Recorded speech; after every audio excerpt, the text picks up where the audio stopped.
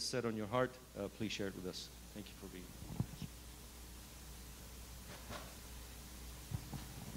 here. Amen. Well, I'm grateful and honored that uh, Rev has asked me to deliver the final part of the series that we started uh, in 2 Timothy chapter 1. We could all please just stand real quickly for the reading of the word. His word is so holy, amen. Let's honor his word this morning. Um, I'm just going to recap uh, the primary, uh, the central verse within the passage. We started, uh, we read verse 1 through 11, but we're going to start at verse 5. Just read 5 through 7. If you could turn to that portion. Huh? We got from 6? Okay, that's fine. For this reason, I remind you to fan into flame the gift of God, which is in you through the laying on of my hands.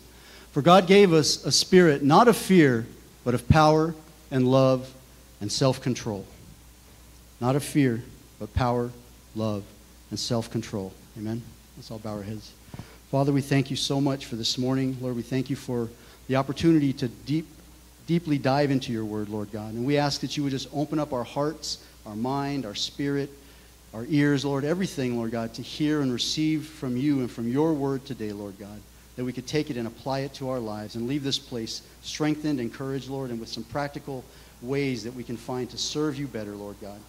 You are so worthy this morning, Lord. May you be glorified in all that is said and all that is done. May your glory be put on full display this morning, Lord. In Jesus' wonderful name we pray.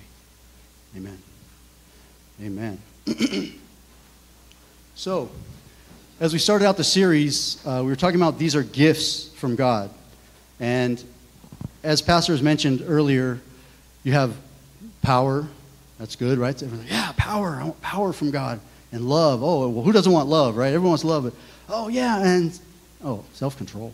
Oh, that's like, you know, that's a gift. I, I, as you read the passage, you're like, yeah, power, love, self control. Wait, what's that about? That sounds like work. That doesn't sound like a gift. That sounds like, wait, that's, that's not the, it doesn't seem like it's on the same level as, uh, as the other uh, two gifts that he gives us. It's kind of like I remember when I was a kid at Christmas time, and you know the families all gathered. You got the aunts and the uncles, and grandma and grandpa, and mom and dad. Everybody's there, and they're passing around the gifts, and oh, I mean, the tree is like piled with gifts, right? And you're just, just pulling them out, and here, this one's for George, and you get, all oh, open up. Yay, black socks.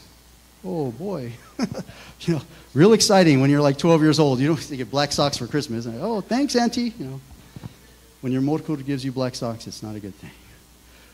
So um, I kind of was looking at it like that, like, wow, well, this, you know, I don't get the exciting one, you know, I thought. But in, in researching this and looking into it, I found that actually it's, it's, I think, probably the best one. It's very, very powerful. Um, so we need to fan into flame all three of these gifts power, love, and self control. So Rev covered uh, power and love. Today we're going to look at self control. Um, I remember years ago seeing a bumper sticker. Actually, I bought one. It said, uh, God said it, I believe it, that settles it. And I bought one thinking, oh, that's so great, that's so great. And I went to church one day and I told somebody about it. Hey, guess what? It says, God said it, I believe it, that settles it. And they, they didn't look too happy. They're like, what's wrong? That's cool, isn't it? They said, well, really, it's God said it, that settles it, whether you believe it or not. And you know, I, that, I bring that to, to, uh, to your attention this morning because I thought about um, the scripture and I was digging deep trying to figure out, you know, self control, self discipline. Like, is there something more to it? And I'm researching and researching, looking deeper and deeper. And what I found out is, nope, God said it. That settles it. That's what it is. It's just, it's self control. The only thing I found was that there are some other versions that talk about um, being of sound mind and sound judgment. And what I got from all of that, when you pull all that together, is God gives us wisdom, sound mind, sound judgment to exercise that self control and that self discipline that we need to do, so that we need to exercise. So he gives us that godly wisdom. Now, I don't know about you, but when I hear the word self control, I'm really leery about when I see the word self. See, because you don't know George like I know George, and I don't trust myself. I don't trust my flesh. I don't trust self. When I see self, I'm worried. And when I self control, I'm like, oh, great. So that means like, so I'm in charge? Oh, that's, that could be a disaster because I, prior to becoming a Christian, you don't even want to know what I got involved in, but I ran my life into the ground. I mean, completely destroyed myself, my reputation, my life, hurt almost everybody I knew. Um, and so I was a little bit concerned when I started to read into this. And uh, I came across a scripture, Romans chapter 7. If you have your Bibles, you can turn with me there. Romans chapter 7, starting at verse 14. So I just really can relate with the Apostle Paul. And this is a really deep scripture. We're just going to go through it. We're not going to be able to unpack it all because it really, it's really deep. But um, we're going to start at verse 14. And it talks about the, the battle that the Apostle Paul, the battle within and the battle with sin. so starting at verse 14. For we know that the law is spiritual, but I am of the flesh, sold under sin. For I do not understand my own actions. For I do not do what I want, but I do the very thing that I hate. Maybe some of us can relate to that, amen? It's so refreshing to hear somebody so, so transparent, so honest. He says, For I do not do what I want, but I do the very thing that I hate. Now, if I do what I do not want, I agree with the law that, it, that the law is good. It's good. So now it is no longer I who do it, but sin that dwells within me. For I know that nothing good dwells within me, that is, in my flesh. For I have the desire to do what is right, but not the ability to carry it out. For I do not do the good that I want, but the evil that I do not want is what I keep on doing. Now, if I do what I do not want, then it's no longer I who do it, but sin that dwells within me. So I find, listen to this, so I find it to be a law that when I want to do right, evil lies close at hand. For I delight in the law of God. You hear that? He's, I delight in the law of God in my inner being, but I see my members another law, I see in my members another law warring against the law of my mind and making me captive to the law of sin that dwells in my members. Wretched man that I am. I've been there. Wretched man that I am, who will deliver me from this body of death? Sounds like a real downer, huh? She's going down, down, down. It's getting worse and worse. Sounds like there's no hope. But he says, Thanks be to God through Jesus Christ our Lord. So then I myself serve the law of God with my mind, but with my flesh I serve the law of sin. So we see there's a real battle going on there, amen? There's a real battle going on. So before we unpack that, um, I'm just, like I said before, grateful for the Apostle Paul, you know, and his transparency, his honesty here, because we all battle with sin, amen? Is anybody here perfect? You raise your hand if you're uh, perfect people. No? Well, I'm far from it myself, amen? But you know, if we back up, before we unpack that, let's back up to verse 7, which you didn't read. It says this What shall we say? That the law is sin? By no means. Yet if it had not been for the law, I would not have known what sin was. For I would not have known what it is to covet unless the law had said, Thou shalt not covet. So, I meant to bring a mirror up here. I forgot to do that. So, the law of God, the Ten Commandments, the law of God is like a mirror. It shows us who we really are. Thou shalt not covet. Thou shalt not kill or murder. Thou shalt not steal, right? Thou shalt not covet thy neighbor's wife or thy neighbor's anything else, right? The law shows us who we really are. But when you see who you really are, what do you do about it if you see that you're filthy, dirty? You come home from work, you're all sweaty, filthy, dirty, or I've been doing a yard project the last few days out there in the sun and just come in the house and I'm just like, my girls run up, Daddy. I'm like, no, no, don't, even touch me. I'm just, oh, I'm just so dirty. I'm soil all over me. You see you're filthy, dirty. What do you do? You get the mirror and you clean yourself with a mirror. Does anybody here clean themselves with a mirror? I hope not. not going to work very well. The law isn't supposed to clean us. The law isn't what saves us. It's what shows us who we really are in God's sight. But the law isn't what cleans us. The blood of Jesus is what cleanses us of all sin and washes us. But we wouldn't know that we're dirty unless we had a mirror, which is the law. It shows us who we really are and how we really are in God's sight. Um, you ever, I don't know, maybe this is embarrassing, but you ever had a, like a booger in your nose, right? And you didn't know, and nobody told you? and you got to go through like half the day, and then it's like lunchtime, you go in the bathroom, wash your hands, look in the mirror, like, oh my God, why didn't anybody tell me? You know, sometimes we need a mirror to show us how we really are, and that's what the law is. Um, let, me, let me ask you guys four quick questions. Uh, has anybody here ever lied? Raise your hand if you've ever told a lie. Okay, some of you are lying right now. Didn't even raise your hand. I know you're. okay, let me try that again. Play along. Okay, just play along. It's okay. Loosen up. Have you ever lied? Told even a little lie, just even a little teensy weensy lie. Have you ever told a lie? Raise your hand. Raise your hand. Come on, come on, come on. You're in church. At least don't lie here. All right, good. Okay, have you ever stolen anything? Raise your hand if you've ever taken anything. Now, how could I believe you? You just told me you're a liar. Okay, so we've all taken things that didn't belong to us, even if it's just a paperclip from work, and you, oh, I need that paperclip at home. You know. All right, so we've, we've lied, we've stolen. Uh, how about, um, have you ever hated anybody? You ever hated anybody? Raise your hand if you ever hated anybody. Come on. Yeah, road rage, come on. I've seen some of you out there pulling out of the driveway right here. I saw you. Okay, so, you know, Jesus said, if you have hatred in your heart for your brother, he says, you're guilty of murder. You've murdered him in your heart. He said, you've murdered him in your heart. Because given time and opportunity, you might actually go and do something like that. You might kill him if you really hate him. So, and what about lust? Have you ever looked upon somebody with lust? Lusted after somebody? Oh, tightened up in here. Oh, don't talk about that. Okay, so Jesus said, if you have lust in your heart, he said, you're guilty, you're an adulterer in your heart, even if you haven't done it. You're, adulterer, you're an adulterer in your heart. So, just based on those four questions, we've all admitted that we're thieves, liars, adulterers at heart, and murderers. That's the mirror. That's what the mirror is showing us right now. That's, that's who I am. That's who I am.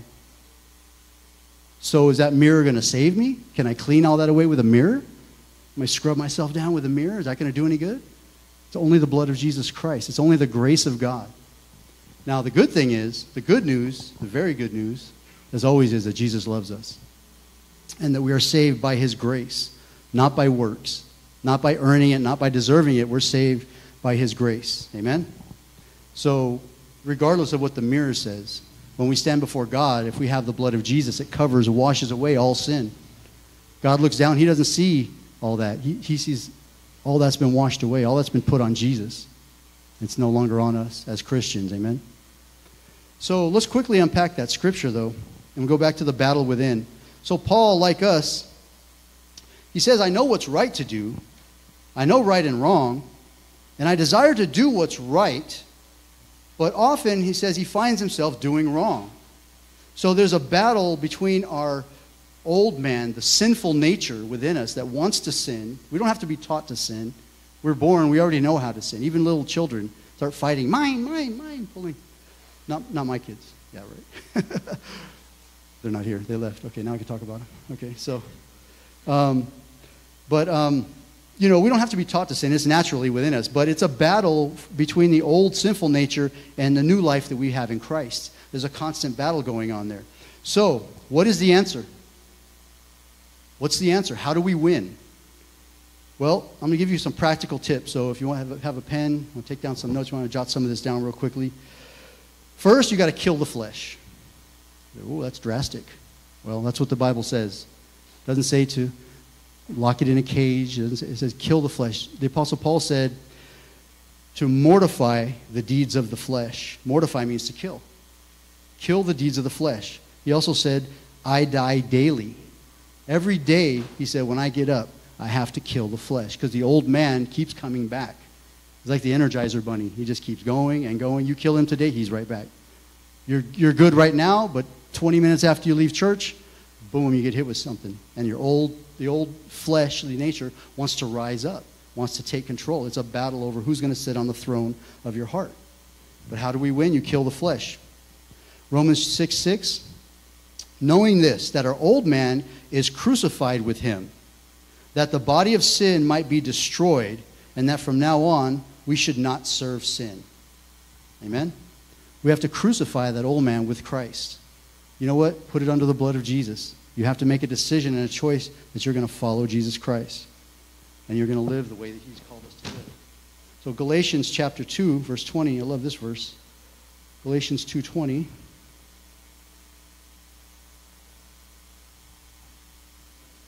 For I am crucified with Christ. Nevertheless, I live. You get that? I'm crucified with Christ. Nevertheless, I live. Yet not I, but Christ lives in me. And the life that I now live in the flesh, I live by the grace or by the faith in the Son of God who loved me and gave himself for me. I do not frustrate the grace of God, for if righteousness could come by the law, then Christ would be dead in vain. So we have to crucify the flesh. Amen? You guys aren't excited about that. I see. But we have to crucify the flesh, the old man. There's a battle going on. We ha- and if you're gonna, if you have any chance at all of winning that battle, you have to have your mind made up that you're going to die to self. The old habits, the old way, the old nature, the old man has to die.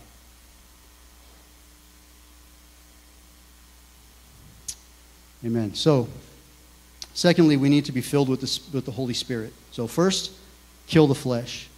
Second, be filled with the Holy Spirit. The Bible says if you walk in the Spirit, you will not fulfill, you will not fulfill the lust of the flesh. So, like I said before, I don't trust myself, my flesh. If it's up to me, I've seen what I, I've, I've seen the decisions I make on my own outside of the Spirit of God. I've seen the trouble I can get myself into. So I realize that it's not just self control, but having the wisdom to give God control. Because with the Spirit of God in you, you can have the strength to resist sin. You have the strength. God gives you the strength. He says there's three gifts power, love, and a sound mind or self control. The wisdom and the strength to make that decision and that commitment that I'm not going to fall to sin. And if I do, I have an advocate with the Father we fall on His grace. Amen? I've heard it said that if you're going to fall, fall forward, fall toward God. At least if you're going to fall, fall toward God, fall into His arms. Lord, I'm sorry, I blew it again. Repent, turn from it. No one's perfect. Amen? Amen? No one's perfect. We're not perfect. So we need to not just be about self control, but give God control. Amen? Rely on Him. He's the only one that we can rely on. So, how do we do this? How does this play out in our daily lives? How do we give, excuse me, God control? Well, first real tip you might want to write down is that which you feed will live, and that which you starve will die. Anybody ever grow plants?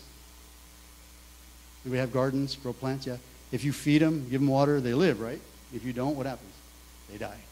Sometimes they die anyway, but that's a whole different story. I, I'm, I can testify to that. Feed them and water them, they still die. Sometimes it's just the sun that burns them up. But anyway, uh, what you feed will live and what you starve will die. So, how do you feed the spiritual man? Because remember, there's a battle. There's the new nature and the old nature, and they're battling. You want to feed the new nature, your spiritual man or woman. Amen? First is the Word, the Word of God. That's our spiritual food.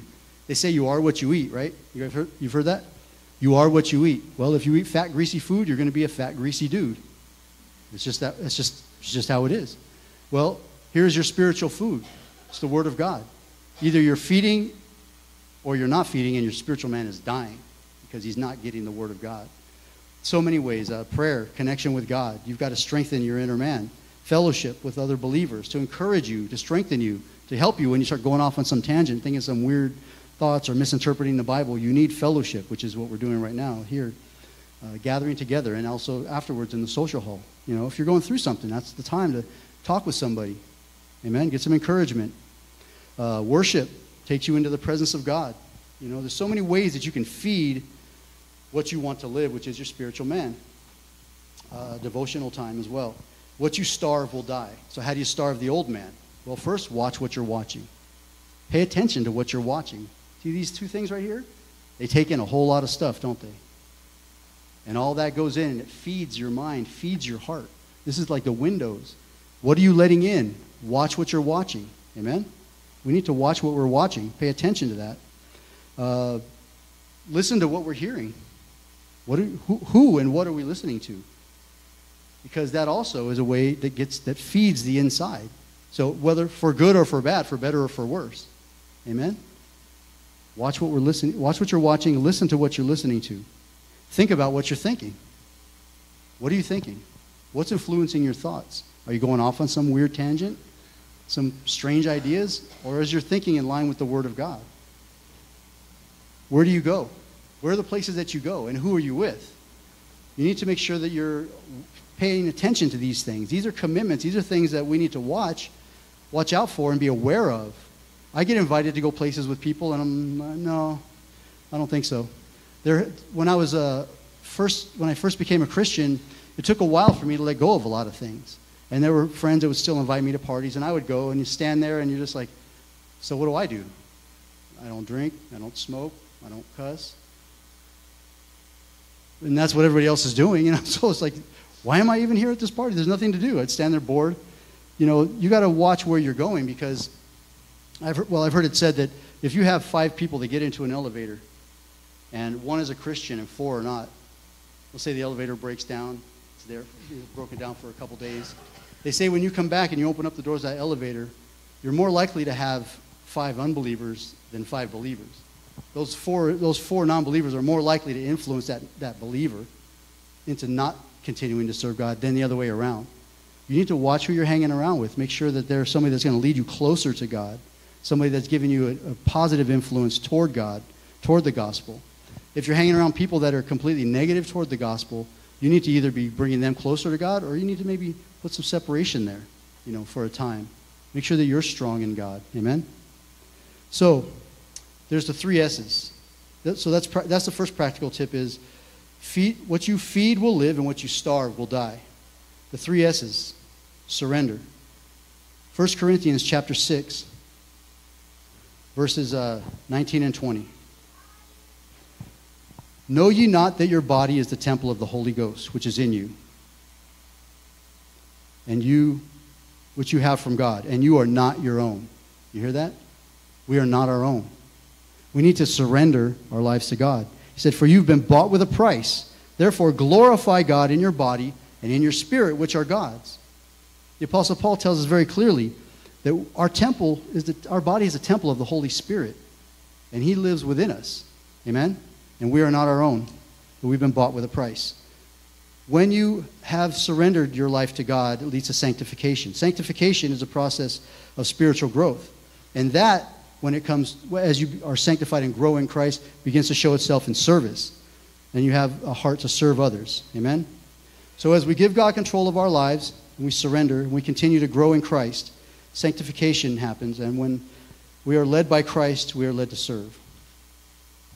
So I said it was called self control, or the, the message is self control versus self love. Self control, we've talked about. We need to use the wisdom that God gives us to make good and godly decisions uh, to exercise self control. Don't just rely on ourselves, but give God control of our lives. Starve the flesh, feed the spirit, surrender our lives to God, grow in Christ when we do that, sanctification, and that leads to service, getting involved, making a difference with our lives. Now, what's self love? Well, the Bible says, love your neighbor as yourself. And you know, people take that scripture and they really bend it out of what it really means. He's not commanding us to love ourselves. You don't have to be told to love yourself. We automatically will love ourselves. Amen? Nobody who, who starves themselves to death, who doesn't, you know, take care of yourself. We automatically are going to take care of ourselves. When the Bible says love your neighbor as yourself, it's saying that you need to love your neighbor. You already know how to love yourself. We all do, amen? But we see it everywhere in the world today. And here's the words of the Apostle Paul, 2 Timothy chapter 3, verse 1 through 5. In the last days, and this could have been written yesterday, in the last days there will be times of difficulty or a great falling away for people will be lovers of self. Lovers of who?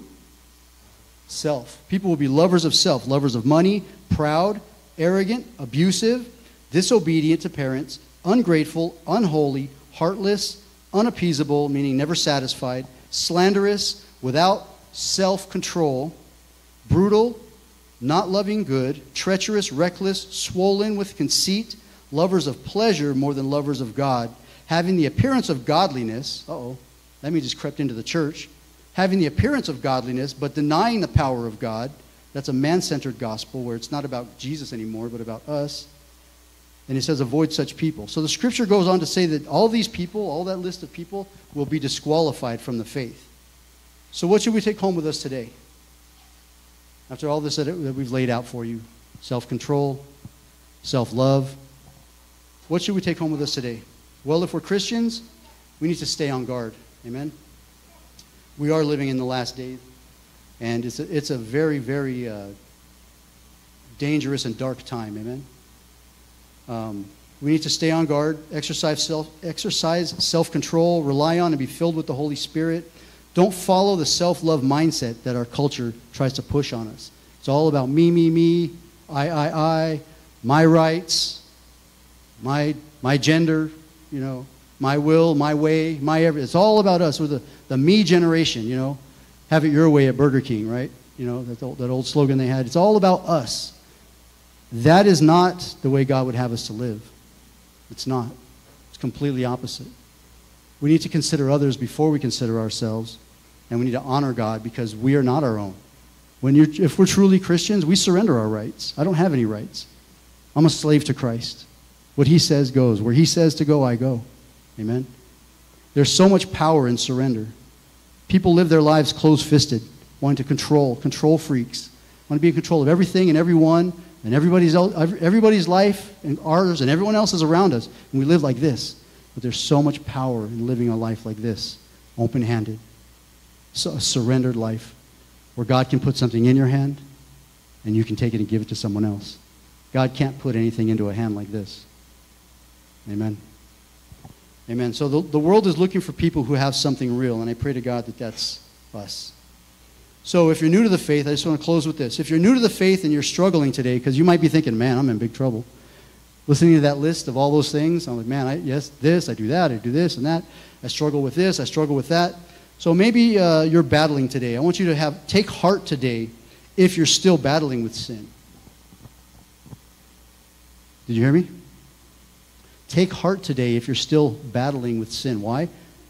Because it means that you haven't given up on God. You're still battling. At least you're battling, right? At least you're trying. You may be struggling, you may be losing more than you're winning, but you're still fighting. Amen? It means that you haven't, it's a sign that you have not given up on God. But be thankful. Be thankful to God that His Spirit is still convicting you of sin. When we, when we mess up, we need to be thankful to God that we still feel His Spirit convicting us because that means that God hasn't given up on us there was a, a young child that was walking through the mud with his father, and the mud was like about a foot and a half deep, really super thick, sticky mud. And he said, Papa, let me hold your hand so I won't fall. And he would hold on to his, his a little child, so he just, the Papa put his finger out. The little child's holding onto the finger, and he's trying to walk, and he kept slipping, and he kept falling, kept falling, he kept falling, because he was relying on him holding on to his father's hand. Finally, he said, Papa, can you hold my hand? And when the father took his hand, he didn't fall. Because the Father had more strength than the Son. And our Father has more strength than we do. So if we're battling, if we're struggling, it's not just not such a bad thing, amen? Because you need to fight on. It is a fight. It is a fight. Are you in the battle? Because it's a fight.